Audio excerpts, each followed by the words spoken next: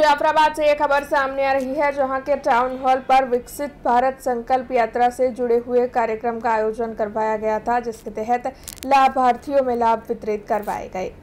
विकसित भारत संकल्प यात्रा के तहत इस वक्त जगह जगह पर कार्यक्रम आयोजित हो रहे हैं। तो जिसके तहत सरकार की विभिन्न योजनाओं की जानकारी और लाभ लाभार्थियों तक पहुँचाए जा रहे हैं। तब जाफराबाद नगर पालिका की ओर से जाफराबाद टाउन हॉल पर मामलतदार और चीफ अफसर की अगुवाई में विकसित भारत संकल्प यात्रा से जुड़े हुए कार्यक्रम का आयोजन करवाया गया था, जिसके तहत विभिन्न सरकारी योजनाओं के लाभ लाभार्थियों में वितरित करवाए गए। तारीख તેર બાર બે હજાર ત્રેવીસના રોજ વિકસિત ભારત સંકલ્પ યાત્રાનું સ્વાગત છે નગરપાલિકા દ્વારા કરવામાં આવેલ છે.